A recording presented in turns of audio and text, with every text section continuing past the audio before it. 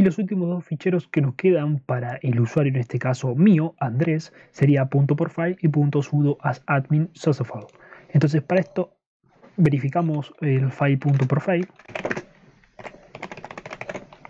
y vas a ver que sería un ASCII text. Entonces de esta forma lo cortamos.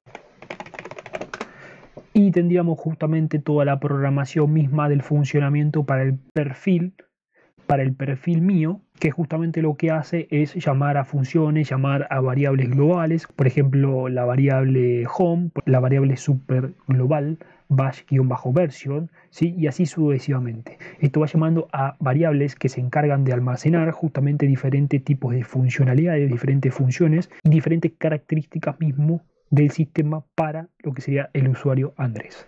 Podríamos hacer exactamente sudo as admin pero esto generalmente se activa cuando se empieza a guardar información respecto al usuario. Pero como lo tengo vacío, generalmente no va a tener nada. Si hacemos exactamente eso, cat.profile accessible, creo que ya lo tengo. A ver si lo tengo guardado. Este.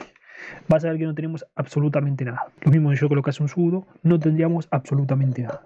Bueno, si nosotros pasamos de usuario convencional a usuario superusuario, vamos a hacer exactamente eso. Entonces para eso su te pide el password. Y de esta forma estaríamos en root. Borramos. Lo que vamos a hacer es primeramente listar donde estamos, pwd. Vas a ver que estamos sobre cd home barra Andrés. LSSMLOCLA, exactamente teníamos todo esto. Y si nosotros nos posicionamos sobre el raíz cd ls-la, vas a ver que cambiaría absolutamente todos los ficheros en el cual veníamos analizando.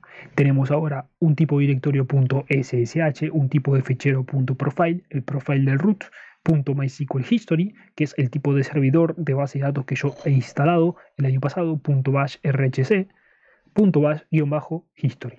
Así que tendríamos, como verás, diferentes nodos sobre los que estamos trabajando de los diferentes ficheros mismos del servidor Linux.